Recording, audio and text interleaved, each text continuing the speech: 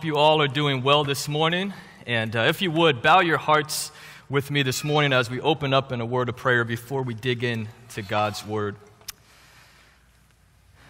Father God, this morning, we ask that your name alone is lifted up. We ask that you receive all the honor and the glory and the power that you rightly deserve. So, God, I pray that you would open our ears to your word, that you would open our eyes to see clearly what you expect of your children, your beloved, your bride. And God, I pray that my words would decrease so that your spirit can increase and work in a way that only your spirit can work in our hearts. We ask this in your mighty and powerful name. Amen.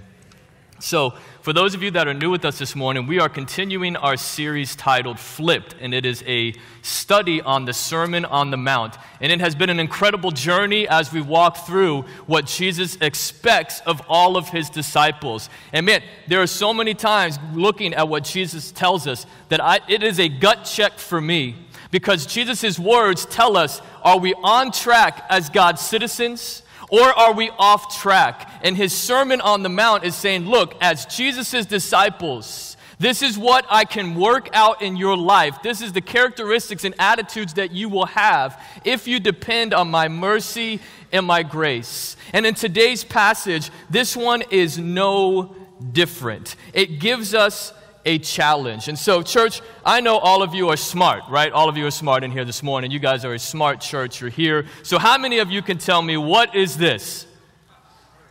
It's a heart. Wow, see? I told you guys smart. Now, what is the heart a symbol for? I heard Valentine's Day, but then I heard the word it is for love, right? And love is awesome. We see the heart everywhere, and it always stands for this symbol of love. And in our society, we can love many things. Even individually in our own lives, we love many different things. We can love things, we can love objects, we can love ideas, we can love feelings, we can love people. And so I just want to do, and when we love those things, this is the coolest thing. It's cool to me, maybe not be cool to you. But uh, when we see those things, it makes our heart light up. Isn't that cheesy? Isn't that cheesy? Our hearts light up with things we love. So let's see if there's anyone in here who loves some of these things. So, uh, puppies. Who loves puppies? Right? Puppies? Yep. Some of you don't like puppies because they chew your shoes in your house. Um, then we'll put the next one up here pizza. How many pizza lovers? Now, who did I just make hungry? Who did I make hungry? A lot of people? I apologize. Now, how many of you love seeing an elderly couple in love? It's precious, it's sweet. They're in love. It's amazing. That's what it should be. That's what we should desire for our marriages. Okay, what about this one? Uh, the NFL. Who loves the NFL? Mmm, yep, yep. And then I threw this last one in just because llamas. Who loves llamas? Anyone love llamas? A few? That's what I look like when I wake up in the morning. So it's what Kelly has to look forward to every day. Now, not only can our hearts love, and our hearts can open up to things that we love, to people that we love. But then something happens with our hearts that were designed and created to love. Our hearts can also be full of hate. And that light that, that shines in our hearts that makes us feel this love can actually be squelched out. And so there are some things in this world that we can hate. And so I'll put some of these things up. You might not be the same. How many of you hate getting cut off in traffic? So I have a picture here for you. How many? Right? That's one thing. That's, I don't know why. It just makes me mad. I don't know why. I don't understand what it is. When someone cuts me off, that's like my face. Uh, how many of you hate cockroaches? Like, I'm going to tell you, realize, I mean, you notice that's not a real picture, right? I tried to put a real picture and I was horrified by what I was looking at, so I went with a cartoon because I, it's a long story, but I do not like those things. When I was two, I think I tried to eat them, and my mom said, yuck, yuck, yuck, yuck, yuck. And so what I think about when I see a roach is yuck, yuck, yuck, yuck, yuck, and I get paralyzed. So I hate those. Uh, let's, let's move on to the next one. Sunburn, right? How many of you hate getting sunburn? Right? Terrible, horrible experience. What about this one? Drinking orange juice after brushing your teeth. How many of you hate doing that? It's a very bad experience. It's no bueno. Um, And then here's the next one. How many of you hate your enemy? Mm. Mm. Now, you don't have to raise your hand. Don't raise your hand. But you see, how many of us find it very easy to hate our enemies? Right? When somebody does something that offends you and attacks you, your first response is, I hate you. And you find people that say, I hate that person over there. This person did this. I hate them. And it's easy. Our hearts are filled with love. But in worst case scenarios, our heart can be filled with hate towards other people. And whatever the reason is, we get these things in our heart where when an enemy enters into our life, we end up hating them, and the love is gone towards our enemies. And it's with this conflict in our hearts that Jesus says, Your hearts were designed to love. I've saved you, redeemed you, sanctified you, glorified you to love. But my disciples have this conflict where they want to love certain people and hate their enemies. And the worst case is sometimes in our life, we justify our hatred. Well, you don't know what they did. I deserve to hate them. Look at what they did. And we have a whole list, and we have subpoints and plots, and we have all this stuff to justify our hatred. And Jesus this morning addresses this idea of loving our enemies. Turn with me to Matthew chapter 5. We're going to be in the last few verses of chapter 5. And we're going to look at what Jesus has to say about loving our enemies. He says this in verse 43 You have heard that it was said, You shall love your neighbor and hate your enemy. But I say to you, love your enemies and pray for those who persecute you, so that you may be sons of your Father who is in heaven. For he makes his sun rise on the evil and on the good, and sends rain on the just and on the unjust. For if you love those who love you, what reward do you have? Do not even the tax collectors do the same? And if you greet only your brothers, what more are you doing than others? Do not even the Gentiles do the same? You therefore must be perfect, as your heavenly Father is perfect. And so this morning, Jesus tells us we are to love our enemies. But before we dive in and dig in really and unpack this, I, wanna, I kind of want to remind you of the situation that Jesus' disciples were under.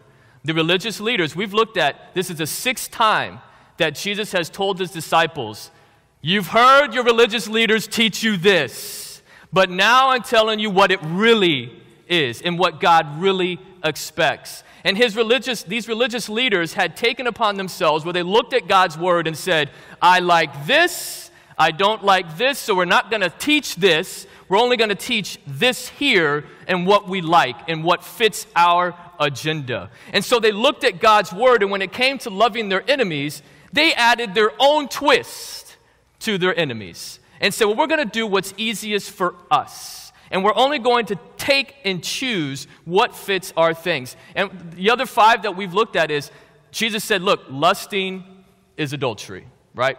You are not to seek revenge. You are not to be full of anger. You are supposed to be people of integrity, not lying everywhere and to everyone. And so Jesus had to already correct so many wrong uh, interpretations that the Pharisees and religious leaders had of God's word.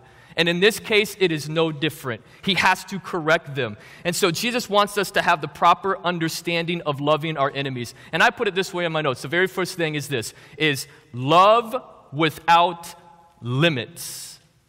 Love without limits. You might be saying, Brad, what does it mean to love without limits? Are we really supposed to love everyone even our enemies, the one who hates us, the one who does bad things against us, are we really supposed to love them without limits? Well, let's let Jesus talk. Let's let Jesus give the answer to that. He said in verse 43, You have heard that it was said, You shall love your neighbor and hate your enemy. Now, our role as pastors is to help everybody in this room learn how to dig into God's Word, to unpack it, so you can learn what it is, to really get meaning out of God's Word. And so this morning, I'm going to give you a little bit of insight into what I sat down and did as I studied and as I walked through the text, because this way you guys can learn how can I go deeper? How can I dig in? It's our rules to show you. So, can I invite you in on that process? You got you with me? All right. So, the very first thing as I did is I, I sat down, I looked at this, and I said, you always want to start with what the author, Jesus, in this case is Jesus, what is, this, what is Jesus saying here? What did the author mean by why he put it here? What is he really saying? Once you get what the author is saying, you keep your verse in context. Because what happens if you don't do that, then you could be like the Pharisees and just pick stuff that fits what you want it to say. And that's not what we're to do here this morning. We have to look at what the writer really said. So here's a couple questions I asked myself. I said, Have you ever seen in Scripture, love your neighbor? Yeah, I've seen that. We read it. There's something in the Old Testament. It's over five times in the New Testament. I've seen that there. And then I asked my follow up question okay, I've seen that one, but what about seeing love your neighbor, but then hate your enemy? Has that ever been displayed in Scripture anywhere? So I sat there and thought about it. No, I never seen that. So then my next question was, is then where did Jesus get this? Where did Jesus get love your neighbor and hate your enemy? Who was teaching this? Where did this idea come from? I want you to turn in your Bibles to Leviticus chapter 19. There's a cool thing if you, if you have a Bible or a study Bible, or maybe you just have a, a regular Bible, one thing I would really recommend is a cross reference Bible. Because as you're reading, it'll have a little letter next to the verse and it'll tell you different passages. And those references help you understand. And in this case, it gives you a reference right to Leviticus. So you can go back and tie in what is really being said. And in Leviticus 19, verse 18, this is what it says. You shall not take vengeance or bear a grudge against the sons of your own people but you shall love your neighbor as yourself. I am the Lord. You see the same phrase? You shall love your neighbor? You see it there? This is where the religious leaders got the first part of that verse right.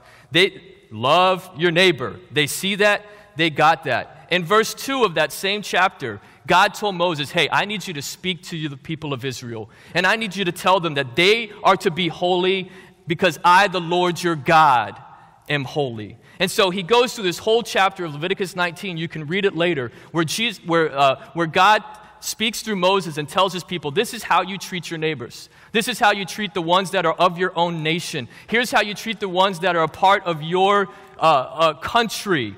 Treat them well. Treat them like you would want to be treated. But here's where the Israelites messed up. Is they took that as love your neighbor as yourself to mean, I only love those that are Israelites.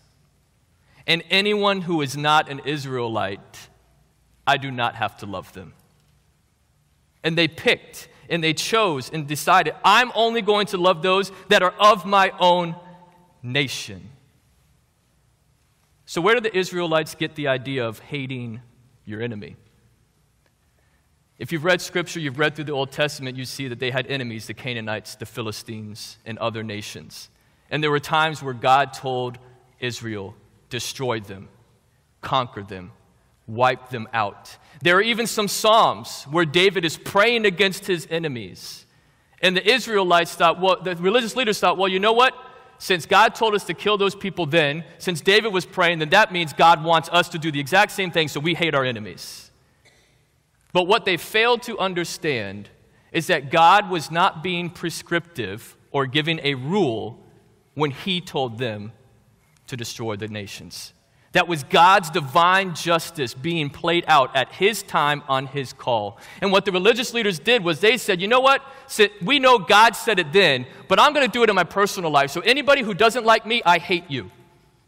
And they took what was descriptive and made it prescriptive in their life and made it a rule when God nowhere said you are to hate your enemies and to hate those that are outside of your nation. So the Israelites, the religious leaders, brought this idea into play. And there was a, there was a sect, of the Qumran sect during Jesus' time. And here's what they said this is what was their view. He, they said it this way love the brother, hate the outsider. And that was being taught during Jesus' time. Love the brother, hate the outsider. But this is not what God's word ever taught. You see, Israel even left off, there was an important phrase that it said there in Leviticus 19. You shall love your neighbor as what? As yourself. So the Israelites became exclusive with their love. They decide, I'm only going to love those that I want to love. Here's the next thing I put in my notes. I said it this way inclusive, not exclusive. Our love for our enemies is to be inclusive, not exclusive. Well, well, how do I know that? Israel had the wrong interpretation. Let's look at God's word to find out. In Leviticus, the same chapter 19, jump down to verse 33 and 34. Look at what God tells his people, the Israelites. When a stranger sojourns with you in your land, you shall not do him wrong. You shall treat the stranger who sojourns with you as the native among him, and you shall love him as what? Yourself. For you were strangers in the land of Egypt. I am the Lord your God. They were told by God to treat those outside the nation of Israel as they would treat themselves. And I don't think it's coincidence that when Jesus said, Here's what you've been taught love your neighbor, that there was a whole part of that that was missing. And I don't believe it was just an accident. This is why do you think the Israelites left off as yourself? Because it's hard. If we love somebody as ourself, that means we have to actually care about them. That means we have to put aside our wants, our wills, our desires, what we think we need, so that the other person is treated well like we would want to be treated. And you see, we as sinful people, and Jesus understands, yes, we are redeemed and we're saved when we put our faith in Christ, but we have our sinful nature. And if we don't get our sinful nature under God's grace and mercy, we become selfish and everything comes about us. And when somebody doesn't meet our standards of what we think of how we should be treated, we don't want to treat them with any respect and love. And the Israelites, the religious leaders, were no different. They left it off, treat your neighbor as yourself, because they knew it would be hard to do. They wanted to hold on to their venge, vengeful ways. They wanted to hold on to their anger. They wanted to hold on to their hatred. They wanted to gossip. They wanted to be mean. It's fun to be mean and they wanted to hold on to that. So they teach half truths from God's word. And Jesus wants to correct our understanding. And look at there in Leviticus 19 34. Why does God want us to love those that are outsiders? Look at the reason he gave. Because you were once slaves in Egypt. Because here's what we need to understand about our enemies We've been under the bondage of sin, those of us who place our faith in Christ. We've been in that place where they are. And we've been rescued. We've been redeemed. We've been set free from every sin, every shame, every guilt. God has rescued us. And these people that are our enemies, most of them are trapped in sin. And God says, Look, you are going to love those outside because you too were once enslaved. And now you've seen the freedom that is in me. Please share that freedom and love with those that are outside of those that you love. So we love our enemies. Look at Exodus chapter 23. Look at what it says here about our enemy. If you meet your enemy's ox or his donkey going astray, you shall bring it back to him. Uh, excuse me, time out. What?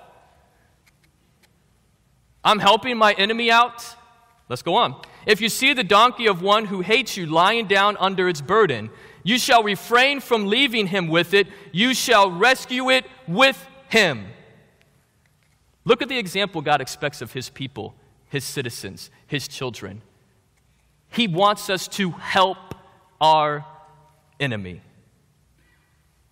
Does he really expect that? Yes, he really expects us to do that. Jesus is not teaching us anything new when he says, Love your neighbor when he says love your enemies. He's not teaching us something that is new or different. This is something God has always expected of his children Israel. But what Israel never did was to love others and be a light to the world. And Jesus tells us we are to be a light to the world. And how do we do that? First and foremost, we love our enemies. Proverbs 25, 21, and 22 says this If your enemy is hungry, give him bread to eat.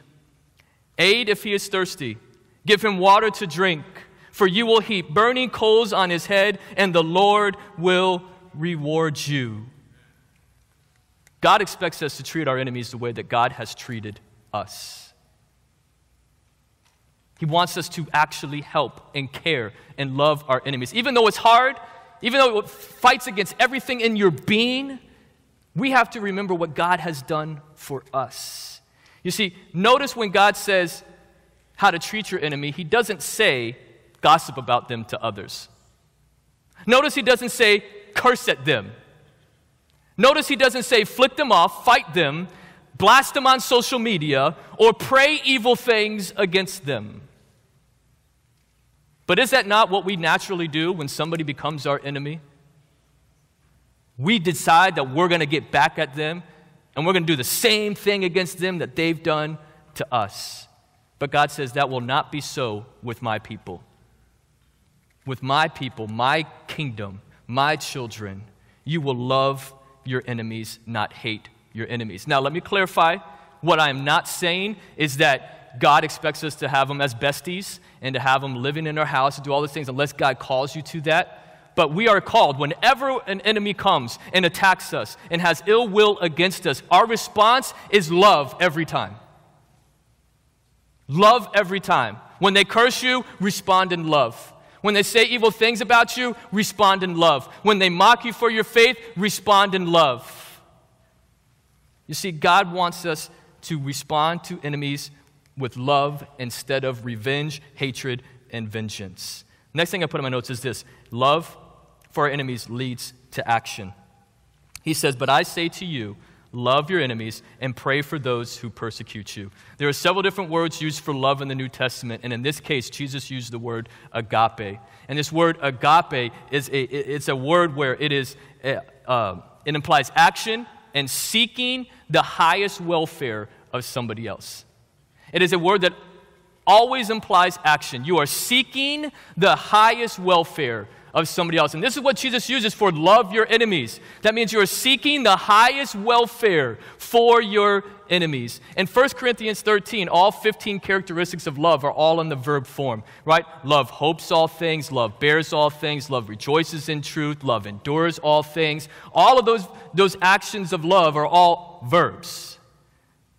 This love that we have for our enemies implies action. It's never just a feeling, it's never just a thought. Sometimes we think, well, I'm going to love them. I, I love them. But that thought never leads to action. That's not the love Jesus is talking about. The love Jesus is talking about is it will lead to actions in your life to love that enemy that is in your life. Jesus says in John 13 34, A new commandment I give to you, that you love one another just as I have loved you, you also are to love one another. And this was after Jesus had washed his disciples' feet. So, Jesus' love that he calls his disciples to, to demonstrate to the world has always been a love about action. And as we see in this case, love isn't just for those who are part of our family, our church family, or God's kingdom. Our love is to be demonstrated in action towards our enemies as well. 1 John 3 16 and 18 says this By this we know love, that he laid down his life for us, and we ought to lay down our lives for the brothers. Little children, let us, love, let us not love in word or talk, but in what? Deed and in truth. Too many times we love in thought. And Jesus says that's not far enough. That's not good enough. Your love must lead to action where you are demonstrating the love of God to them. In that verse, it says that we are told to lay down our lives. What does that mean? See, most of the time when you get upset at somebody who's an enemy, they some, they've done something against you about how you feel you should have been treated. And we don't get what we thought we deserved. And here's what it means we don't look for what we deserve. We lay our deserving rights, whatever those little things might be, and we say, I'm seeking to meet the needs and to love those. I'm putting my desires aside. I'm putting my will aside. I'm putting my life aside so that I can love other people. That's the kind of love God wants us to demonstrate towards our enemies. You see, all of us are going to have different enemies in our life. We're all not going to have the same. It could be a boss, could be a coworker, could be a family member, could be a spouse. It could be all sorts of things, but Jesus tells us our response is always the same. It's always to love them through our actions. But how do we love somebody that's our enemy? How, how, how do we go about that? Because when somebody becomes our enemy, our first response is not to love them. So, how do we do that? There's only one way. Look at what Jesus says.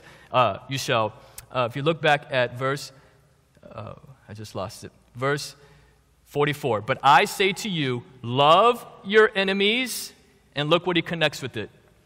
And pray for those who persecute you.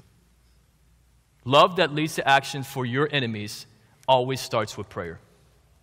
It continues through prayer, it ends in prayer. That Jesus intentionally connects our love for enemies with prayer. Why? Because prayer is not just, oh, dear Jesus, please change their sinful attitudes. Prayer changes us.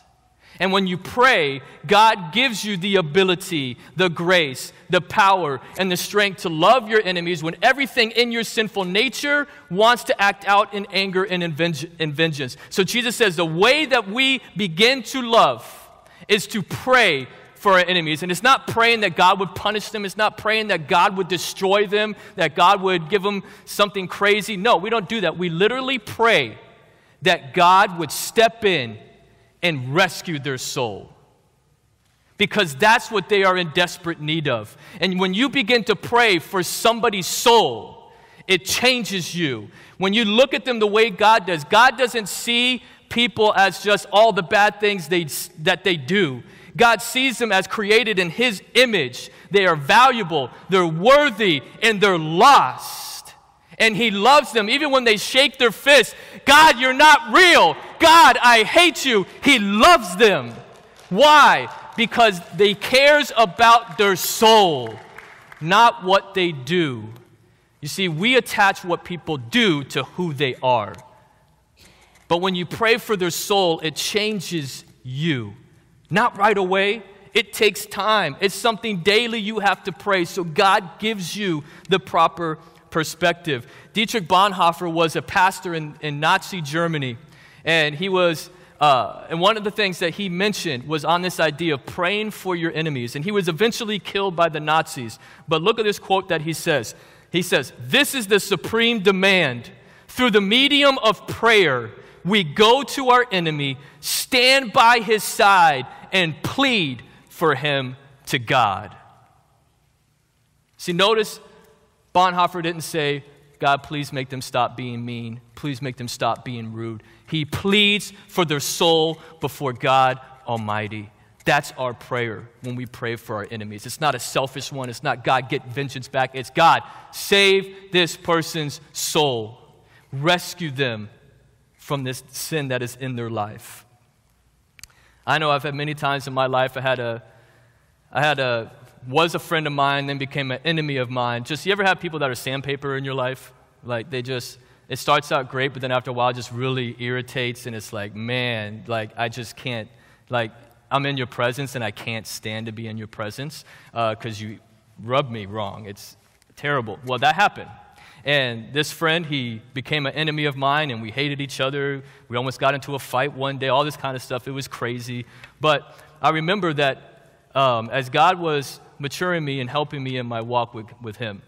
He brought that, that person to my mind. And I began to say, you know what, I'm being an idiot.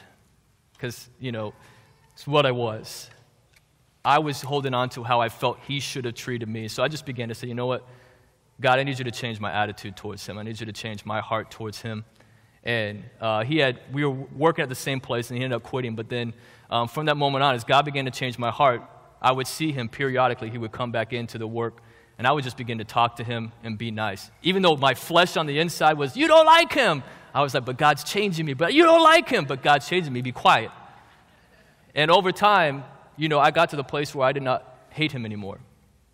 That whatever it was, I don't even care what he did to me. It doesn't matter anymore. Because here's what I realized I blew my opportunity to be a witness to him. I blew my opportunity to demonstrate the love of God and God's grace to him because I was selfish and didn't get what I wanted. But as you pray for them, I know it's true. God will change your heart towards them. We love our enemies and follow our Father's example. we are demonstrating, we are giving evidence to the fact that we are citizens of God's kingdom. That we show that we have been changed, that we have been redeemed. John 13, 35 says it this way By this, all people will know that you are my disciples if you have love for one another. Your love for one another, in this case this morning, it includes your enemies, will demonstrate that you are one of God's children. I love the way that 1 John 4, 7, and 8 says it. He says it this way Beloved, let us love one another, for love is from God, and whoever loves has been born of God and knows God. Anyone who does not love does not know God, because God is love. Now, these are strong statements from the disciple John.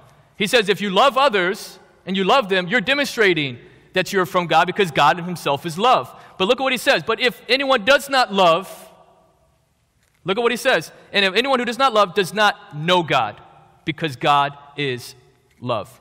Now, here's what I'm not saying, and here's what John's not saying. If you, if you have faith in Christ and you're one of his children, you're not going to lose your salvation if you're not loving.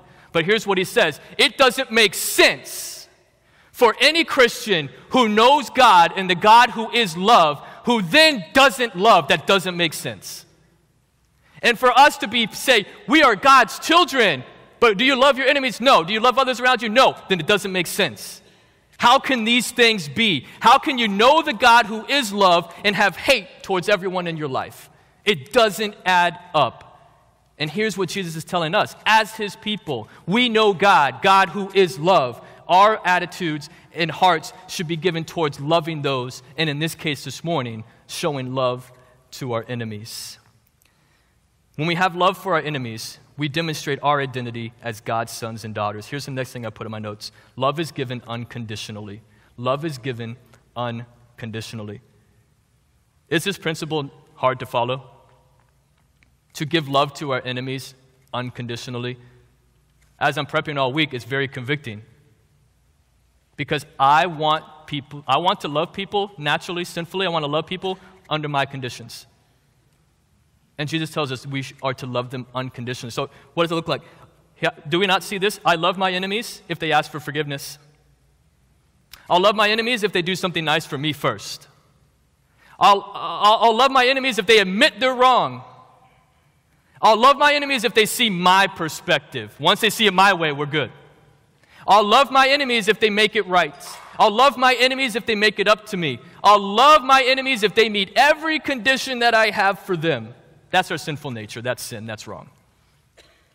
Here's what Jesus says that is not the example our Heavenly Father has set before us. Well, how do I know that? Romans 5 8. What does it say? But God shows his love for us, for while we were still sinners, Christ died for us. See, the Bible doesn't say that we were good friends with God and then he saved us. The Bible says that in our unsaved, sinful state, we are enemies of God. We were rebellious. The Bible goes so far and says, There is none good, no, not one. Everything in our life was against God. We were enemies. We wanted nothing to do with God. There's people that curse God, that hate Him, that say all sorts of evil against Him. We did that in our own lives. And God still sent Jesus to die on the cross for us. Why? Because of His love for us. That is the example our Father has set is we couldn't meet any condition of God. That was the point of why Jesus had to come. We couldn't be good enough. The best we could do is sin, people. And while we were in our sin, not meeting any of the conditions of God's standards, God sent Jesus to die in our place to give us forgiveness of sins and offer us his grace through faith in him. See, that's the example our Father set and says, You love unconditionally because remember, I loved you unconditionally when you wanted nothing to do with me. Love your enemies. They don't have to meet any conditions first. Love them. That's our Father's example. Psalm 145, 15 and 16 says it this way The eyes of all look to you, and you give them their food in due season. You open your hand, you satisfy the desire of every living thing. He provides for everyone, and He satisfies every living thing unconditionally. We must be like our Father in loving our enemies. Here's the third thing in our notes, and we'll finish in just a few minutes. Love sets us apart. Love sets us apart. Matthew 5, 46 and 47 says it this way For if you love those who love you, what reward do you have? Do not even the tax collectors do the same? And if you greet only your brothers, what more are you doing than others? Do not even the Gentiles do the same? Here's the next thing I put in my notes the world's love is normal. The world's love is normal. What Jesus says in those two verses is an ouch. It hurts. Because it hits us between the eyes. We find it very easy to love those who love us. The friends that we have, it's very easy to love them because they're our friends. But to love our enemies, that's difficult for us to do. But here's what Jesus says He, he points out tax collectors and, and the Gentiles. Why does he point those out? Because tax collectors were hated by the Jews. Why? Because they were collecting taxes, but not only that, but they were working for the enemy, which was the Roman Empire.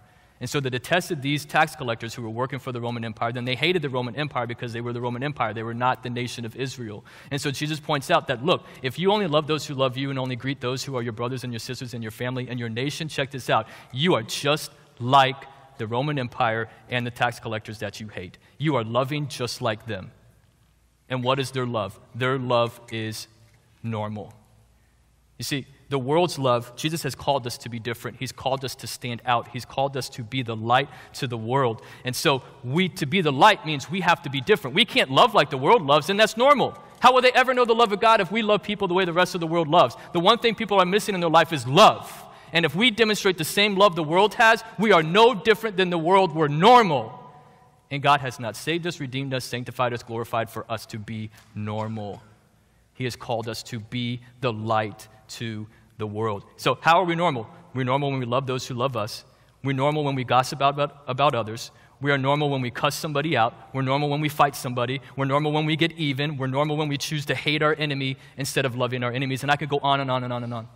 That's what normal people do. But God has called us to be completely different. Here's the next thing in our notes God's love is supernatural.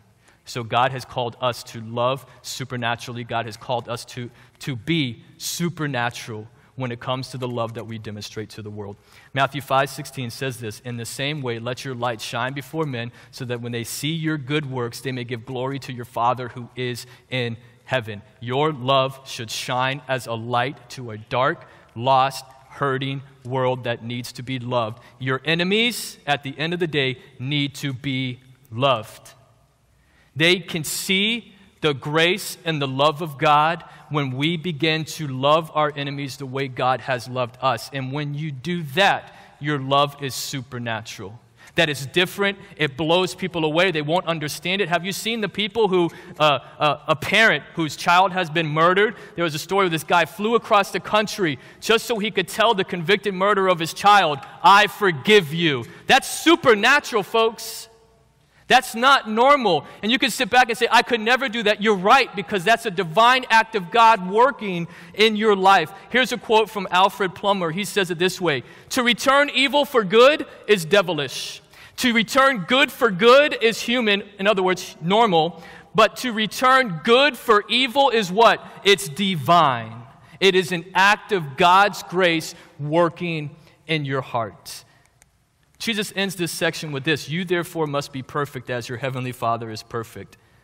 The word perfect meaning completion, meaning maturity. When it comes to loving our enemies, it means to be perfect in this sense of we need to be mature, but you might look at it and say, Brad, that's impossible. And that's the point. Is that in your own power, your own strength, the best we can do is normal.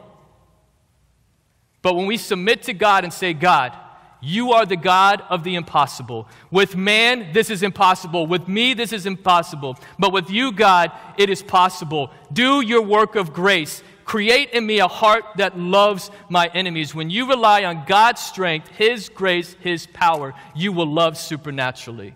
But if you disconnect yourself from the power and the source of God, you will love normally and be just like the rest of the world. And that's what the Israelites had done. Because here's what happens when you hate your enemy, you're disconnected from God. Because you're not praying, you're not seeking His perspective, you're not seeking His vision, you're not seeking His love. And Jesus says we are to love supernaturally, and the only way we can do that is to fall at the hands of God and say, God, do this grace in my heart. Change me.